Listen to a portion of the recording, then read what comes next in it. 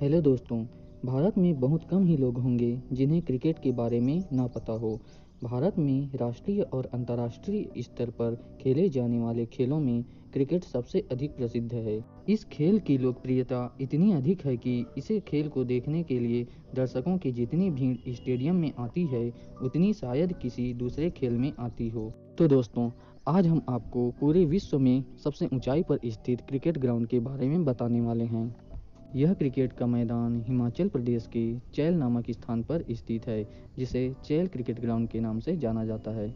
इस मैदान का निर्माण अठारह में पटियाला के महाराज भूपिंदर सिंह के द्वारा कराया गया था। यह मैदान समुद्र तल से कुल 2444 मीटर की ऊंचाई पर स्थित है। इस मैदान का उपयोग क्रिकेट खेलने के साथ साथ पोलो मैदान के रूप में भी किया जाता है।